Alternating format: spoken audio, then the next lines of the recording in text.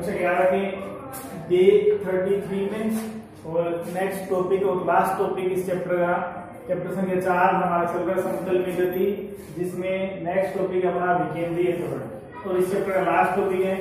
इसके बाद में, कल की क्लास में हम न्यूमेरिकल पार्ट इसका करेंगे। उसके बाद फिर नेक्स्ट चैप्टर में पहुँचेंगे। इसलिए अब तक जिसने भी ये चैप्टर पढ़ा है चैप्टर संख्या चार तो उसको आप अच्छी तरह से एक बार और रिवाइज कर लें। जिसको भी प्रॉब्लम है, किसी भी टॉपिक में, किसी भी क्वेश्चन में तो आज ही आप उसको कमेंट बॉक्स में डाल दें कि प्रॉब्लम अपनी क्या है। कोई क्वेश्चन है फ़ोटो खींच के डाल दें, चाहे आप उसके, या आप लिख के डाल दें कि कौन से क्वेश्चन में प्रॉब्लम है, या कौन से टॉपिक में प्रॉब्लम है, या पर्टिकुलर कोई वैसे कंसेप्ट प्रॉब्लम है तो किस कंसेप्ट में क्या दिक्कत है, वो भी आप उसमें लिख के डाल सकते हैं। दो तीन दिन बाद में फिर अगर प्रॉब्लम्स रहेंगे किसी की तो प्रॉब्लम क्लास हम एक लगाएँगे प्रॉब्लम क्लास के नाम से। उसके अंदर जिन बच्चों की भी प्रॉब्लम है, उनको, उनका जो सोल्यूशन है वो हम प्रॉब्लम क्लास में ले लेंगे। तो आप इसे रिवाइज कर ले शुरू से लास्ट तक। प्रक्षेप में गति बहुत महत्वपूर्ण टॉपिक है इस चैप्टर का, उसको अच्छी तरह से करके देख लें। इसके न्यूमेरिकल हम करेंगे नेक्स्ट क्लास के अंदर। और जितने भी टॉपिक हमने पढ़े हैं, सभी से संबंधित जो भी आपकी बुक में न्यूमेरिकल्स हैं, या जैसे न्यूमेरिकल बनते हैं, या जैसे एग्ज़ाम्स में या कॉम्पिटिशन में पूछे जाते हैं उस तरह के कुछ न्यूमेरिकल्स हम इसमें सॉल्व करेंगे अब बात करते हैं विकेंद्रीय त्वरण की कि विकेंद्रीय त्वरण क्या है? सबसे पहले तो इसकी डेफिनेशन और फिर इसका सॉल्यूशन दोनों बातें देते हैं हमने। अब विकेंद्रीय त्वरण। सेंट्रीपिटल का जो मतलब है सेंट्रीपिटल विकेंद्रीय है, इसका मतलब होता है, इसका जो मीनिंग है, वो है टुवर्ड्स द सेंटर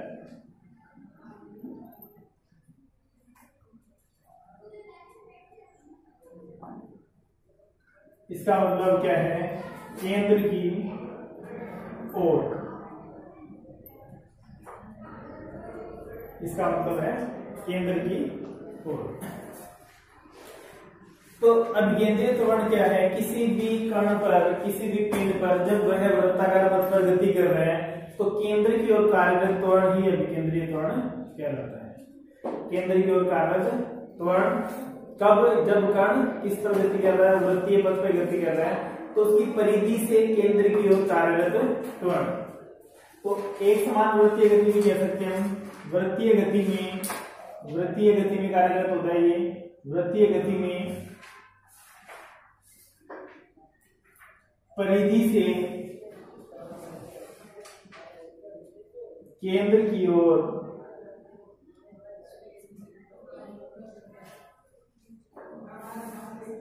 कार्यरत त्वरण। इस पर किसी पिंड पर या कण पर पार्टिकल पे लगता है, त्वरण।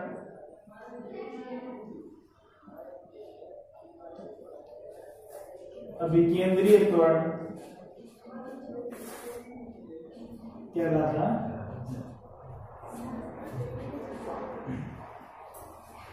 त्वरण है ये सदिश राशि है।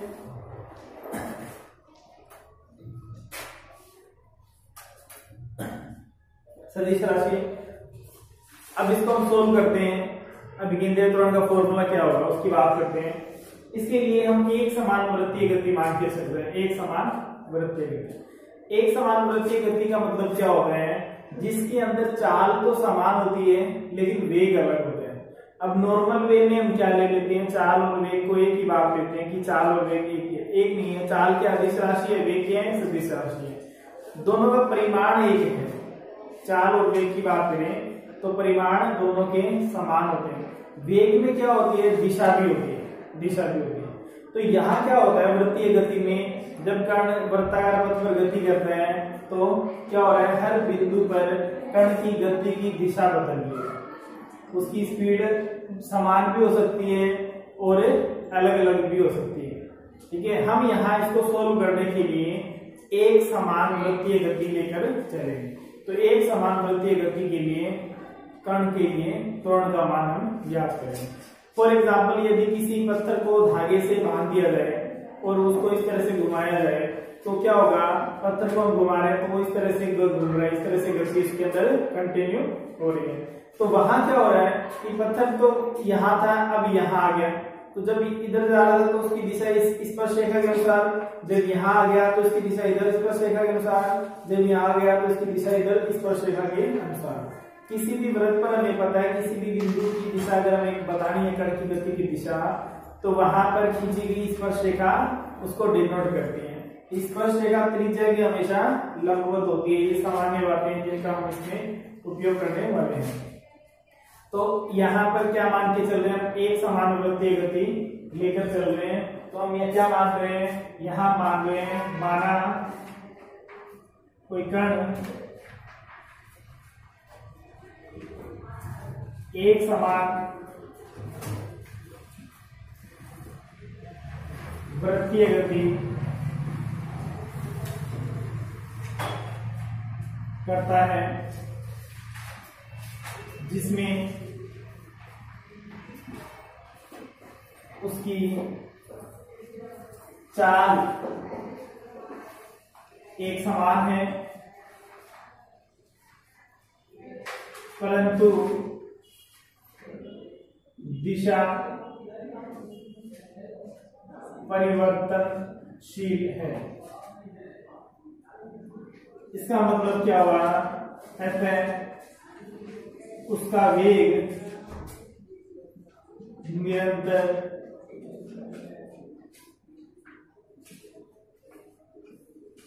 परिवर्तित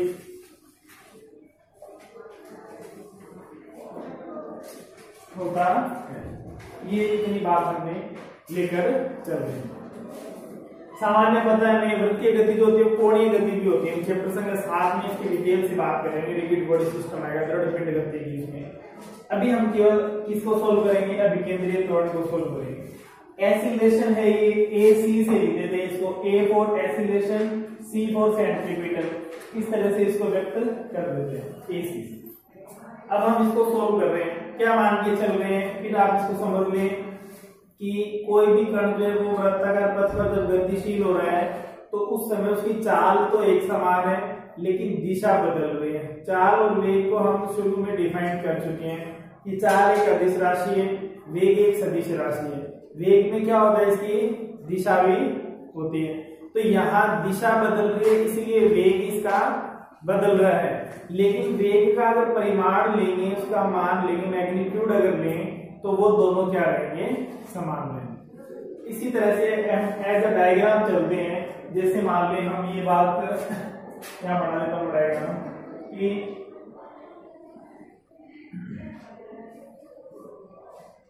कोई वृत्ताकार पथ पे कोई कण गति कर रहा है, यहाँ है, किसी समय बिंदु ए पर है। तो ए पर इस दिशा में गति कर रहा है, ये इसकी दिशा क्या होगी? खींची गई स्पर्श रेखा ये होगी। इसका वेग मान लेते हैं, क्या है? V है। सेंटर जो इसका ओ है, यहाँ से जो त्रिज्या है, इसकी आर है।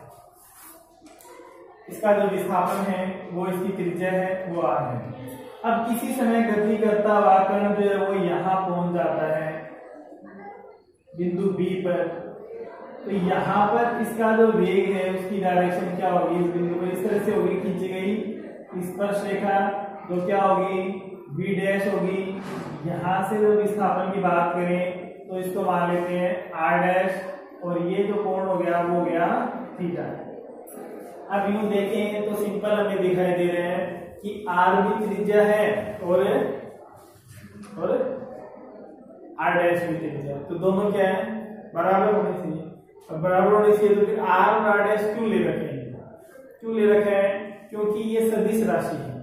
यहाँ पर इसकी दिशा जो है, वो ओ से ए की तरफ़ है। यहाँ पर इसकी जो दिशा है, वो ओ से बी की तरफ़ है। अगर इनकी परिमाण की बात करें तो हम ये कह सकते हैं कि आर का मोड आर वेक्टर का mod is equal to R dash vector का मोड जो है, वो दोनों क्या है? बराबर है। इसका मतलब सिंपल वे में कह सकते हैं आर इज़ इक्वल टू क्या है? आर डैश है। लेकिन सदिश रूप में दोनों मान अलग अलग है, क्योंकि दोनों की दिशाएँ अलग अलग है। इस बात को ज़रूर पहले आप अपने दिमाग में बैठा ले, समझ ले अच्छी तरह से। कि क्या लेकर चल रहे हैं? स्पीड सेम है बट वेलोसिटी डिफरेंट है। वेलोसिटी चेंज है, क्योंकि डायरेक्शन चेंज है। यहाँ पर दिख रहा है बिंदु ए पर कण की गति की दिशा ये है, खींची गई स्पर्शिका। और बी पर देखेंगे तो ये है, खींची गई स्पर्शिका। हो गई अलग अलग दिशा, इसलिए वेग क्या है इनके? वेग जो दो है, दोनों के भिन्न भिन्न है, दोनों के वेग ठीक है? इसलिए हमने क्या मान रखा है? वी और वी डैश विस्थापन की बात करें तो परिमाण दोनों का समान है, ये भी त्रिज्या है और ये भी त्रिज्या सेंटर से परिधि तक जा रही है। लेकिन अगर विस्थापन की बात करें विद डायरेक्शन तो दोनों अलग अलग है। ये इसकी डायरेक्शन ओ से ए की तरफ़ है, इसकी डायरेक्शन ओ से बी की तरफ़ है। इसलिए हम सदिश फॉर्म लेके चल रहे हैं, क्योंकि एक्सीलरेशन क्या एक वेक्टर क्वांटिटी है, उसकी डायरेक्शन होती है towards the centre from circumference परिधि से इधर केंद्र की ओर उसकी दिशा होती है। अब यहाँ इसको सोल्व कर लेते हैं।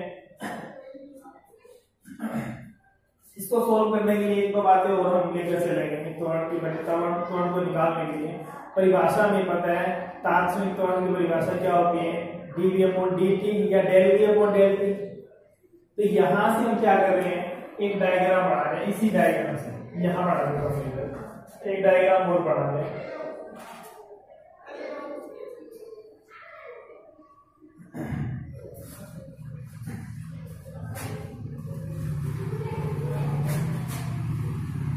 यहाँ से हम ट्राइंगल बना लेते हैं ओ ए बी इसको ले लेते हैं। ये ओ पॉइंट है, ये यहाँ ए पॉइंट है, और इस तरह से ये बन गया बी पॉइंट ए बी ये कौन हो गया? थीटा। ये आर हो गया, ये हो गया आर डैश हो तो ये जो त्रिभुज हमने बनाया है, वो किसने बना लिया? ओ ए बी में जो कहाँ से बनाया है, इसी डायग्राम से। अब इसी डायग्राम से वेग में और हम एक डायग्राम बनाते हैं, वेग की फॉर्म में वी और वी डैश की फॉर्म में।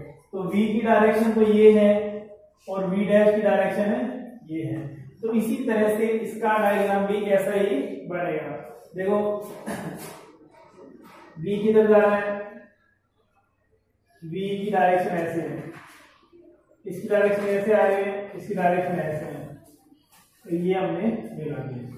तो ये क्या हो गया? पॉइंट दे दो इसको। ए पॉइंट दे दो। और ये बी पॉइंट दे दो। सी पॉइंट दे दो। ये दो एंगल है। इसकी ये है वी है। ये है वी डैश इधर डायरेक्शन है। इसकी डायरेक्शन इधर है। यहाँ से ये आर की डायरेक्शन है। ये आर डैश की डायरेक्शन तो ये क्या हो जाएगा? सदिश से डेल्टा आर लिख सकते हैं इसको। डेल्टा इसी तरह से ये क्या हो जाएगा? दोनों का डिफरेंस डेल्टा बी हो जाएगा। और ये जो एंगल है वो भी क्या होगा? थीटा होगा। अब इस बात को समझ लें कि फिर कंफ्यूजन क्रिएट हो सकती है यहाँ, कि अभी v और v डैश कहाँ से आ गए और उनके बीच में एंगल थीटा कैसे बन गया। तो हमें इस डायग्राम को फिर देखना पड़ेगा। इस डायग्राम को एक और डायग्राम बनाते हैं, उसको थोड़ा सा कि हमारे पास क्या स्थितियाँ हैं, ये बड़ा बड़ा देता हूँ ये है हमारे पास ए बिंदु, ये ओ बिंदु है, ये बी बिंदु है, और ये आर डैश है, और ये आर है। ये कौन थीटा है। अब देखो इसकी दिशा किधर है? ऐसे ऐसी दिशा। ये है। और इसकी दिशा किधर है? इस दिशा में। ये हो गया बी और ये हो गया बी डैश अगर हम इसको पीछे बढ़ाएँगे तो ये एक जगह पर काटेंगे। यहाँ इस बिंदु पर काटेंगे। अब हमें पता है कि स्पर्श रेखा त्रिज्या के साथ हमेशा नब्बे डिग्री का कोण बनाती है। ये बात मैंने शुरू में बताई थी। स्पर्श रेखा किसी व्रत पर खींची गई स्पर्श रेखा उसकी त्रिज्या के लंबवत होती है। कक्षा छह में में आती है तो वैसे भी हमें पता है कि ये क्या होती है? स्पर्श रेखा हमेशा इसके लंबवत होती है। तो यहाँ पर जो एंगल बढ़ता है, वो कितना बढ़ता है? नाइनटी डिग्री का ये चतुर्भुज बन गया ओ ए बी और इसको कोई एफ़ नाम दे दिया मैंने F O A F B से तो यहाँ से देखिए, आमने सामने के कोण नब्बे नब्बे हो गए, एक सौ अस्सी, और ये चतुर्भुज बन गया ओ ए एफ़ बी और तीन चारों कोणों का योग कितना होता है? तीन सौ साठ डिग्री। तीन सौ साठ में से नब्बे प्लस नब्बे तो गए एक सौ अस्सी। एक सौ अस्सी, और ये हो गया थीटा। ये कितना बचा? ये कितना बचा? ये बचेगा कितना? एक सौ 180 माइनस थीटा। कितना बचा? क्योंकि इन दोनों का योग कितना है? 180 तो ये इन दोनों का योग कितना है? 180 180 में से थीटा घटा दो तो कितना बचा? 180 माइनस थीटा। अब ये एक सीधी रेखा है। सीधी रेखा सीधी रेखा पर जो कोण बढ़ता है वो कितना बढ़ता है? पूरा 180 बढ़ता है। इधर वाला 180 माइनस थीटा इसका मतलब क्या होगा? इधर वाला थीटा है तभी तो इधर का 180 माइनस थीटा है। तो यहाँ पर ये कोण कितना हो जाएगा?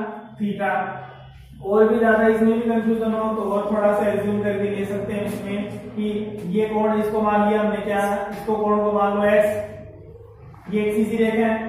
सीधी रेखा पर जो कोण बना है, वो पूरा योग कितना होना चाहिए? 180 इधर वाला क्या निकाल लिया हमने? इस चतुर्भुज से 180 माइनस थीटा तो 180 माइनस थीटा प्लस एक्स बराबर योग कितना होना चाहिए? 180 कट गया।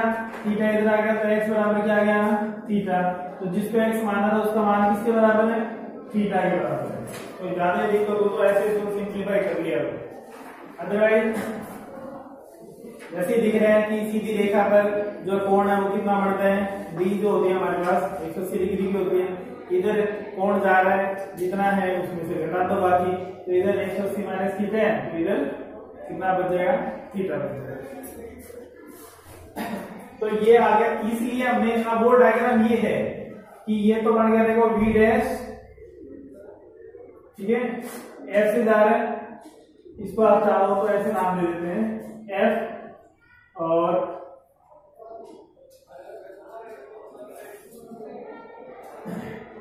और इसको दे दें पी और इसको दे दें क्यू तो ये हो गया पी और ये हो गया क्यू दिखाई दे रहा है कि इसको हमने क्या कर दिया। इसको हमने वहाँ मिला दिया, उस डायग्राम में तो ये वाला जो त्रिभुज बनाया गया वो है वहाँ पर।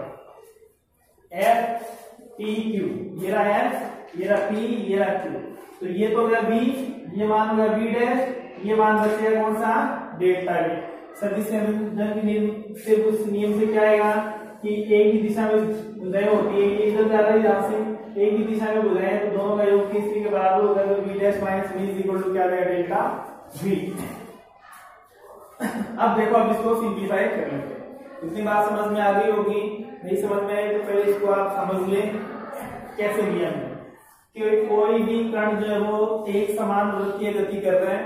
एक समान वृत्तीय गति के अंदर चाल समान रहती है, लेकिन वेग अलग होता है। मतलब स्पीड तो बराबर है 50 की स्पीड से है तो 50 की स्पीड से ही है। लेकिन डायरेक्शन हर बिंदु पर बदलती रहती है। डायरेक्शन बदल रही है, इसका मतलब वेलोसिटी बदल रही है। तो या इसलिए यहाँ पर v और यहाँ v डैश लिया गया है। स्थिति सदिश जो है वो यहाँ r और यहाँ r डैश लिया गया है, क्योंकि डायरेक्शन अलग अलग है।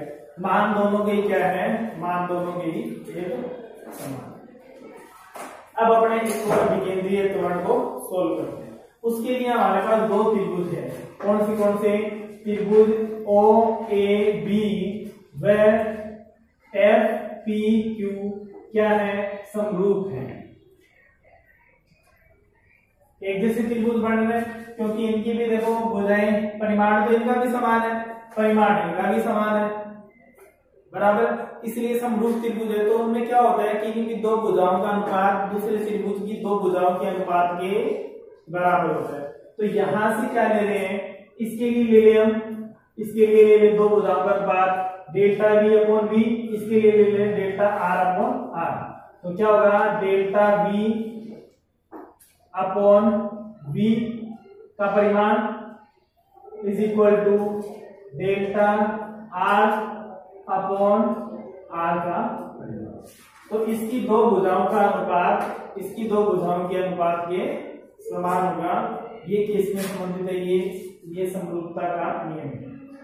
अब देखो डेल्टा वी को लिखे हम डेल्टा वी को तो क्या लिख सकते हैं? इसको इधर ले आए। क्या देगा v upon R into delta अब v, इसका परिमाण जो होता है, परिमाण को हम बिना सदिश के लिख सकते हैं। R वेक्टर जो है, इसको भी क्या लिख सकते हैं? R लिख सकते हैं। तो delta v vector is equal to आ गया v upon r into delta r. अब आप त्वरण की परिभाषा लगा दो। त्वरण की परिभाषा क्या है? त्वरण की परिभाषा से dv अपॉन dt होता है त्वरण की परिभाषा से। और वैल्यू अल्प है डेल्टा टी अल्प है तो इसको कैसे लिख देते हैं? लिमिट लगा के लिख देते हैं। A C is equal to limit delta T tends to zero and delta B vector upon delta T ऐसे लेते हैं। अब देखो डेल्टा बी वेक्टर तो है ही, इसे इक्वेशन फ़र्स्ट दे दो। डेल्टा बी तो है ही। डेल्टा बी का मान ये पूरा मान है, और डेल्टा बी का मान यहाँ रख दो इसमें। तो डेल्टा बी वेक्टर का मान रखने पर रख दो, और सिंप्लीफाई हो गया ये।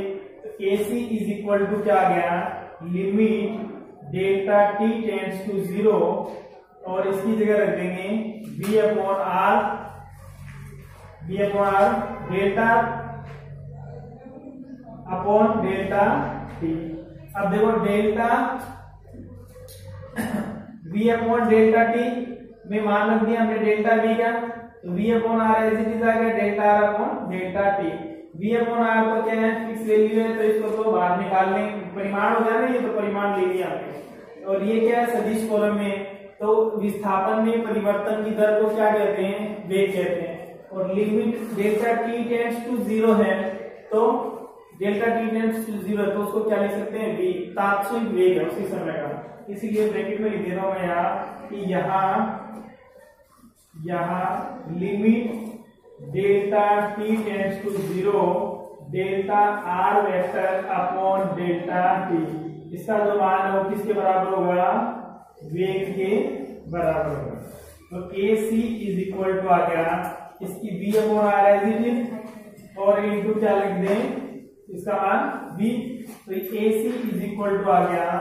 बी स्क्र अपॉन आर और ये क्या है ये त्वरण का मान है जो अभिकेंद्रीय त्वरण जिसे कहते हैं डिफाइन करना हो तो किसी वृत्तीय पथ पर गतिशील कण या पिंड के लिए परिधि से केंद्र की ओर कार्यरत त्वरण को अभिकेंद्रीय त्वरण कहते हैं।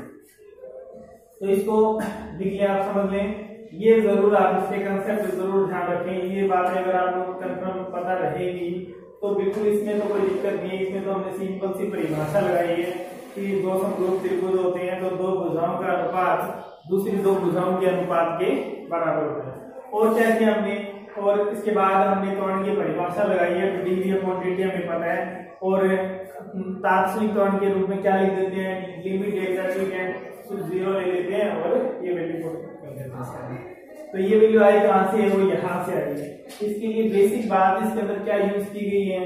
वो मैंने यहाँ लिख दी है कि जब कोई कण एक समान वृत्तीय पथ पर गति करता है तो उसकी चाल तो एक समान होती है, लेकिन उसका वेग जो है वो भिन्न भिन्न होता है क्योंकि उसकी दिशा परिवर्तित होती रहती है। तो आप इसको समझ लें। उम्मीद है समझ में आ गया होगा। नहीं रिवाइज कर लो प्रॉब्लम है तो लिख दें। प्रॉब्लम हो भी सकती है। थोड़े से कंसेप्चुअल मैटर जहाँ आ जाते हैं। थोड़े से डीपली हमें समझना पड़ता है पॉइंट टू पॉइंट वहाँ थोड़े सा आपस में क्या कन्फ्यूज़न हो जाए। तो और अगर ऐसी कोई कन्फ्यूज़न रहती है तो आप बिल्कुल लिख दें कन्फ्यूज़न क्लास में बिल्कुल कन्फ्यूज़न क्लियर कर दी जाएगी। बाकी बातें नेक्स्ट क्लास में करेंगे। तो तब तक बढ़ते रहें।